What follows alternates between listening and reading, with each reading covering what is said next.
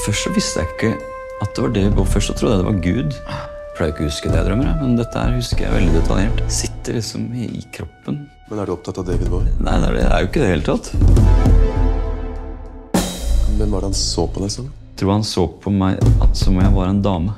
Men syns du han høres annerledes ut, eller? Kanskje litt lysere? Og så var det et eller annet med stemmen min. Ja, du er litt hes, eller? Så gå ut på gata, da. Nei, så tenker jeg litt på det, og så Så går jeg inn igjen. Og så hadde du sex med han? Ja. Hvordan hvordan var det? Var det ikke rart? Nei, det var deilig, altså. Det er sånn overveldende godt, det må jeg si det. Jeg merka jo det, og jeg var jo egentlig veldig opphissa. Han øh, ville hatt sex med en mann.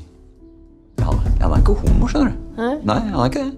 Nei, det er rart med det, men det var, eh, nei, det var liksom litt sånn sensasjonelt på en måte for meg, da. Holder du underbuksa på? Jeg har ikke noen andre å prate med om dette her enn deg, så. Og kona mi, selvfølgelig. da. Cool. Ja, du har ikke sagt det til henne?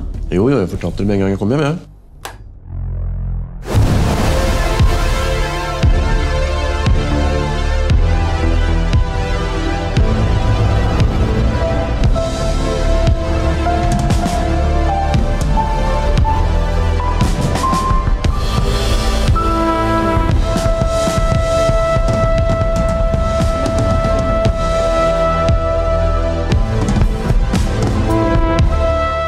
Er aldri så nær hverandre som når vi har sex.